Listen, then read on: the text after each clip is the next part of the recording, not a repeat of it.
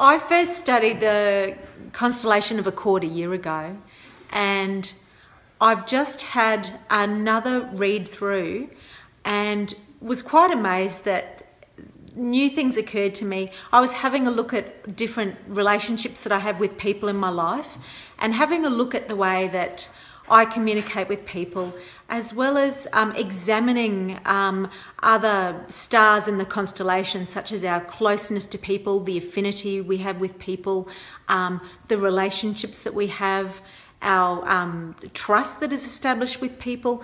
And it's incredible to see that when you look at it really forensically like this, we can see why relationships go wrong. We can see which relationships in our lives are going perfectly well and why. It's amazing to see this all on paper and get these aha moments because in our busy lives where we're running around looking after our children, our partners, focusing on business, and just finding some time to look after ourselves as well, we can lose sight of these fundamentals. And the constellation of Accord really is examining the fundamentals of why relationships in our lives work and why relationships in our lives don't work. It takes the guesswork out, it takes out the uncertainty. It's quite incredible. Uh, to look at it and think, aha, this makes perfect sense to me. Um, all relationships need great communication, and um, Dr. Keith has a wonderful communication workshop. And um, it really enhances what we do, having a look at the um, constellation of Accord and how everything fits together. It's vitally important for great relationships, as well as having that closeness. You know, you can examine how close you are with with people in your life.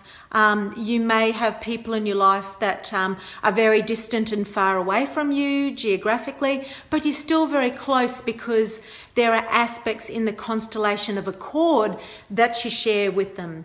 Um, you can live in a household with someone and be quite distant to them, and it's easy to find out why because you just look at the different aspects in the constellation of Accord and work out really where you sit in the constellation with these people. You can look at the degrees of closeness, you know, trust, agreement, um, liking, and communication, as well as the energetic um, dimension there too. People often forget that we are energy and the energy dynamic is extremely important. And that's one of the stars in the constellation as well. So it's an all encompassing model that really explains why relationships work, why they don't work, and exactly what we can do about it.